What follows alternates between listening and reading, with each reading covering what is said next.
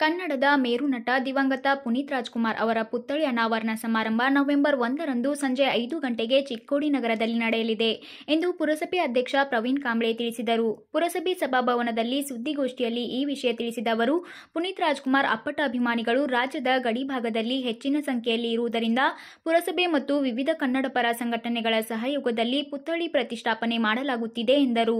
ಚಿಕ್ಕೋಡಿ ನಗರದ ಇಂದಿರಾನಗರದ ಕ್ರಾಸ್ನಲ್ಲಿರುವ ಸಂಸದ ಕಚೇರಿ ಮುಂಭಾಗದಲ್ಲಿ ಪುತ್ಥಳಿ ಅನಾವರಣ ನಡೆಯಲಿದೆ. ಈ ಕಾರ್ಯಕ್ರಮದಲ್ಲಿ ಸಂಸದ ಅಣ್ಣಾಸಾಹೇಬ್ ಜೊಲ್ಲೆ, ವಿಧಾನ ಪರಿಷತ್ ಮಾಜಿ ಸದಸ್ಯ ಮಹಾಂತೇಶ್ ಕೌಟ್ಗಿಮಠ್, ಚಾಂಪಿಯನ್ ಚಿತ್ರದ ನಾಯಕ ನಟ ಸಚಿನ್ ಪಾಟೀಲ್ ಮತ್ತು ದುರಿನ ಜಗದೀಶ್ ಕೌಟ್ಗಿಮಠ್ ಆಗಮಿಸಲಿದ್ದಾರೆ ಎಂದರು.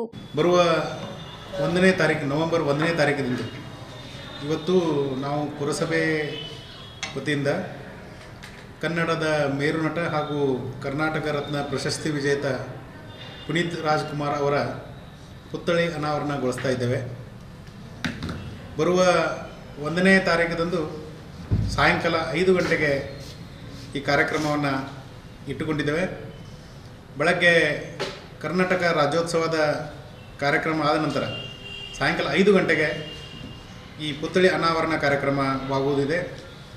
ಆ ಪುತ್ಥಳಿ ಅನಾವರಣ ಕಾರ್ಯಕ್ರಮ ಈಗಾಗಲೇ ತಮಗೆ ಗೊತ್ತಿರುವ ಹಾಗೆ ಸನ್ಮಾನ್ಯ ಶ್ರೀ ಅಣ್ಣಾ ಸಾಹೇಬ್ ಅವರ ಆಫ್ ಆಫೀಸ್ ಮುಂದುಗಡೆ ಇರುವಂಥ ಒಂದು ಸ್ಥಳದಲ್ಲಿ ಲೋಕೋಪಯೋಗಿ ಇಲಾಖೆಯ ಆಟ ಕಟ್ಟಡದ ಎದುರುಗಡೆ ಈಗಾಗಲೇ ನಾವು ಅಲ್ಲಿ ಪ್ರತಿಷ್ಠಾಪನೆ ಮಾಡುವುದಿದೆ ಐದು ಗಂಟೆಗೆ ಆ ಕಾರ್ಯಕ್ರಮದಲ್ಲಿ ವಿಶೇಷವಾಗಿ ಈ ಭಾಗದ ಸಂಸದರು ಅಣ್ಣಾಸಾಬ್ ಜೊಲ್ಲೆ ಅವರು, ಈ ಭಾಗದ ನಾಯಕರು, ಮಾಜಿ ವಿಧಾನ ಪರಿಷತ್ ಸದಸ್ಯರಾದಂಥ ಸನ್ಮಾನ್ಯ ಶ್ರೀ ಮಹಾಂತೇಶಣ್ಣ ಕವಟಿಮಠ ಅವರು ಹಾಗೂ ಇತ್ತೀಚೆಗೆ ಬಿಡುಗಡೆ ಆದಂತಹ ಚಲನಚಿತ್ರ ಚಾಂಪಿಯನ್, ಆ ಚಿತ್ರದ ನಾಯಕ ಸಚಿನ್ ಹಾಗೂ ಅವರೆಲ್ಲ ತಂಡದವರು.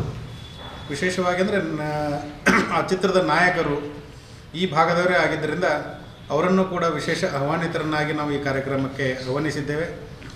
ಈ ಮೂರು ಜನರು ಕಾರ್ಯಕ್ರಮದ ಅತಿಥಿಗಳಾಗಿ ಆಗಮಿಸ್ತಿದ್ದಾರೆ. ಅದು, ಅದರ ಜೊತೆಗೆ ಪುರಸಭೆಯ ಎಲ್ಲ ಸದಸ್ಯರು, ಚಿಕ್ಕೋಡಿ ಪಟ್ಟಣ ಹಾಗೂ ಸುತ್ತಮುತ್ತಲಿನ ಎಲ್ಲ ಗ್ರಾಮದಿಂದ, ಹೆಚ್ಚಿನ ಸಂಖ್ಯೆಯಲ್ಲಿ ಈ ಕಾರ್ಯಕ್ರಮಕ್ಕೆ ಭಾಗವಹಿಸಬೇಕಂತೇಳಿ ಈ ಪತ್ರಿಕಾಗೋಷ್ಠಿ ಮುಖಾಂತರ ಅವರಲ್ಲಿ ಕಳಕಳಿಯ ವಿನಂತಿ ಮಾಡ್ತಾ ಇದ್ದೇನೆ. ಈಗಾಗಲೇ ನಾವು ಕಿತ್ತೂರು ಚೆನ್ನಮ್ಮ ಅವರ ಪುತ್ಳಿಯನ್ನು ಕೂಡ ಅನಾವರಣ ಮಾಡಬೇಕಂತೇಳಿ ನಮ್ಮೆಲ್ಲರ ಸದಸ್ಯರ ಚರ್ಚೆ ಆಗಿತ್ತು. ಅದರ ಜೊತೆ ನಾವು ನಗರೋತ್ಥಾನದಲ್ಲಿ ಬರುವ ಪುರಸಭೆ ಅನುದಾನದಲ್ಲಿ ಅದನ್ನು ಈಗಾಗಲೇ ಮೀಸಲಿಟ್ಟಿದ್ದೀವಿ.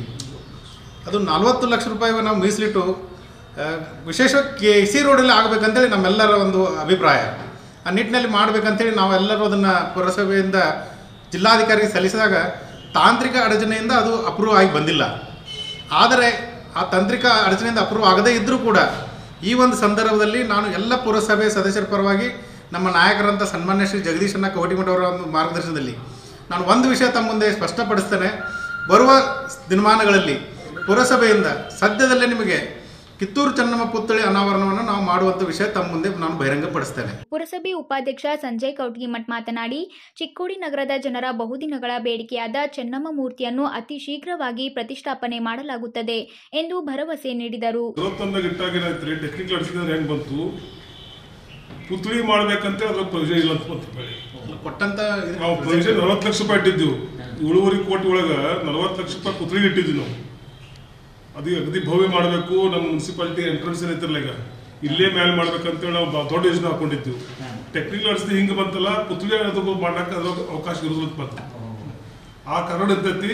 ಆದ್ರೆ ಈಗ ನಾವು ಅಧ್ಯಕ್ಷರು ಹೇಳಿದಂಗ ಇವತ್ತೇ ಬೆಳಗ್ಗೆ ಡಿಸ್ಕಷನ್ ಮಾಡಿದ್ವಿ ನಾವೆಲ್ಲ ಮೆಂಬರ್ಸ್ ಡಿಸ್ಕಷನ್ ಮಾಡಿದ್ವಿ. ಡಿಸ್ಕಷನ್ ಮಾಡಿ ಭಾಳ ಅನ್ನೋದು ಎರಡು ತಿಂಗಳದಾಗ ಎರಡು ತಿಂಗಳದಾಗ ಕಿತ್ತೂರಾಡಿ ಚೆನ್ನಮ್ಮ ಪುತ್ರಿ ಅನಾವರಣ ಆಗೇ ಆಗ್ತದೆ ಕೋಡಿಪಟ್ಟಣದಲ್ಲೇ ಆಗ್ತದೆ.